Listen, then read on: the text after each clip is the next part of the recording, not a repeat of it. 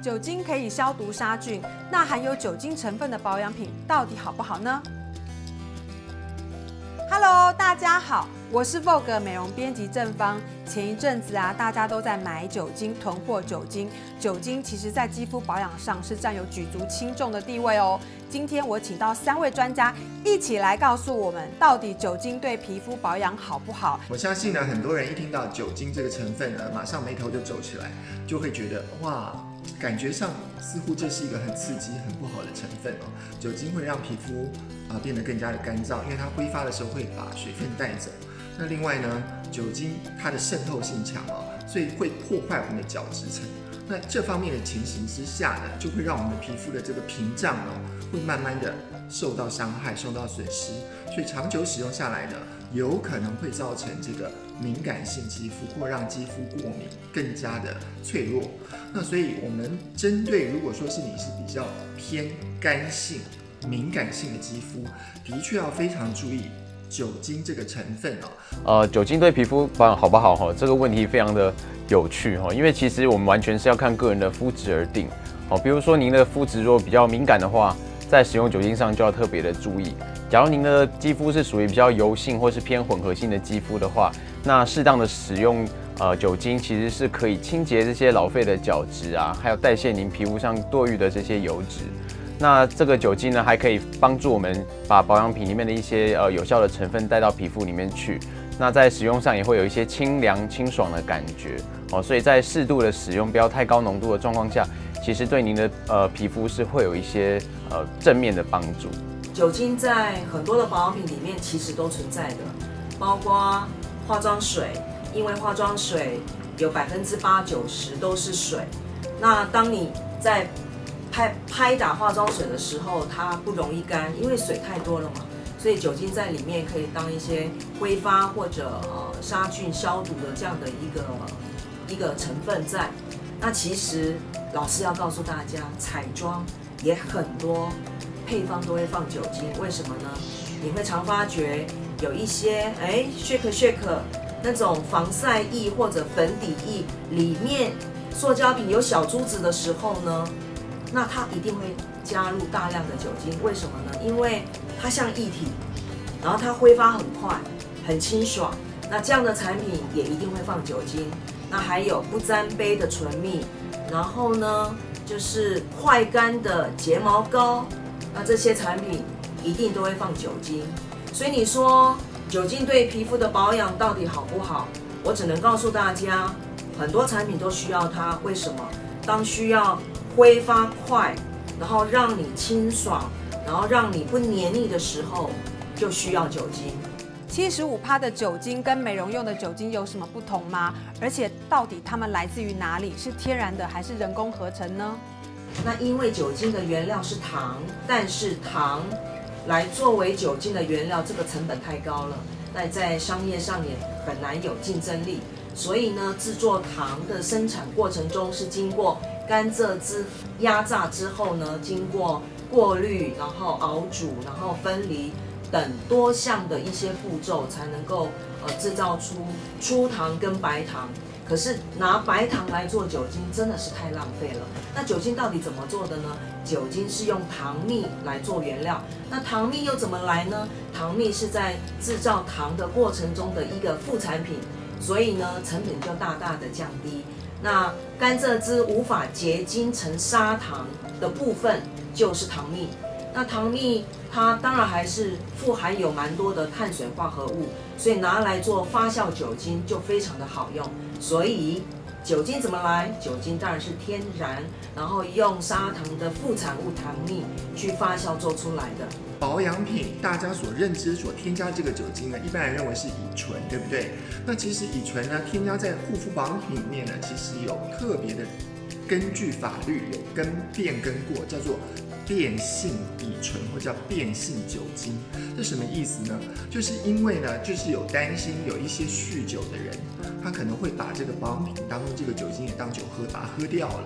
所以呢，这个为了针对这些人，所以呢，添加在护肤保养品当中这个酒精呢，要经过变性处理，也就是说喝起来呢会变得非常难喝，变得很苦。管市面上标榜这个酒精呢是什么天然的糖发酵啊、谷物发酵出来的酒精啊，并不会因此变得比较温和。所以呢，不管是什么，只要是变性酒精，它就是酒精。那我们应该如何判断自己使用的保养品里面到底含不含有酒精，以及含量多少呢？如果酒精浓度你都闻得到的话，那可能至少有五趴以上。那如果你都闻不太到，那可能它浓度很低。好，那带来的隐忧呢？因为我觉得台湾的网络都都认为酒精它可能是一个导致过敏的一个原料。我要告诉大家哦，美国接触性皮肤炎协会每一年都会颁给一个过敏源的一个原料。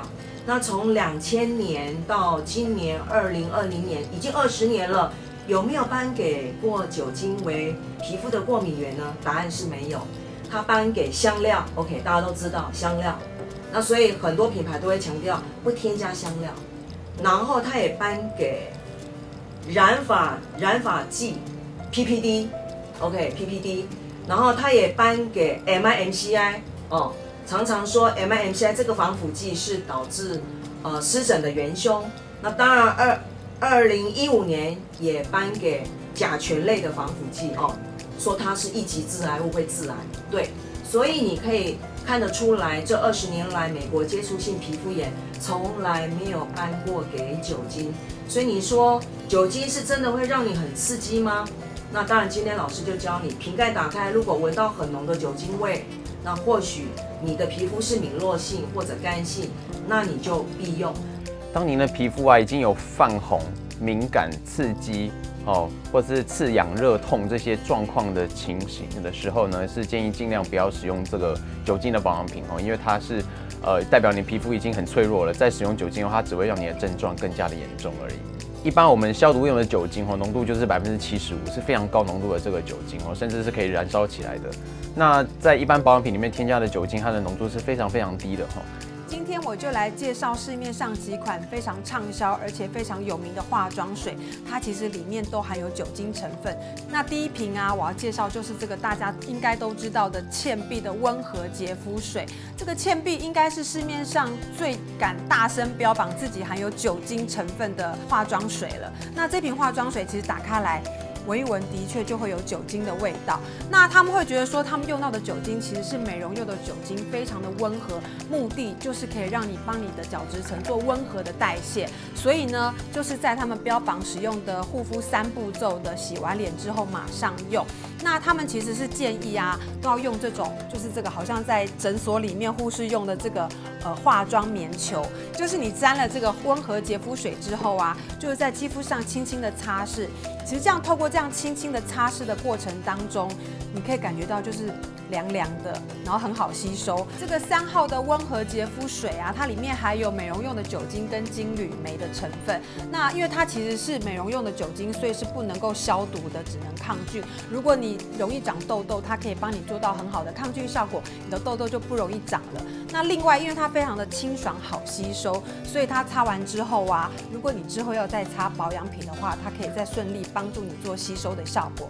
所以我觉得在夏天使用非常好。那很多人会觉得说，它的这个温和的洁肤水都含有酒精成分，如果我真的不想用酒精怎么办？那它其实后来还有推出一点零号，它是完全不含酒精成分的，也可以帮助一些皮肤比较敏弱的人做一个温和角质的代谢。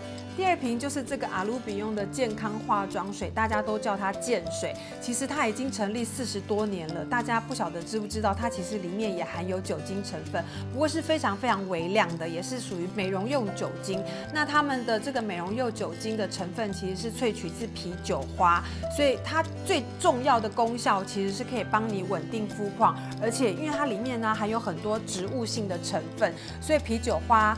做成的这个酒精成分，它可以帮你稳定那些植物的一些呃萃取，而且让这些植物更容易保存跟稳定。如果是日晒后有一些红肿啊、发炎，它其实你可以敷着它，就有一点就是皮肤就是有点清凉镇静的效果。那对皮肤的保养，夏天真的是非常好。一样，它如果是有一些痘痘肌啊，或者是一些很容易出油的肌肤，其实擦这个健康化妆水，它也可以让你的油脂分泌比较正常，让你的皮肤不再油光满面。第三瓶我要介绍也是就是制造保养界的这个高丝的药用血肌精。我记得之前呢，药用血肌精真的很红，它的美白功效是真的很好，里面也是用到了一些美容用的酒精成分。那它里面用到的美容用酒精，其实重点是可以让它里面的一些草本的植物配方可以更安定、更稳定的发挥作用，而且还有天然防腐的效果。因为药用血肌精最有名的就是可以让你的皮肤就是有美白的效果，所以在使用用的时候啊，建议你是用轻拍的方式，可以让这个保养的成分容易的渗透吸收。那我刚这样擦一下，我的这一只手真的是蛮有清凉感的，所以呢，这个药用雪肌精真的也是三十几年这个屹立不摇的原因。再来啊，是这个白色瓶身的 Pola 的一个美白的化妆水。我相信可能大家对 Pola 比较陌生。那其实 Pola 是日本的品牌，他们在日本做的一些肌肤保养的研究也非常非常的先进。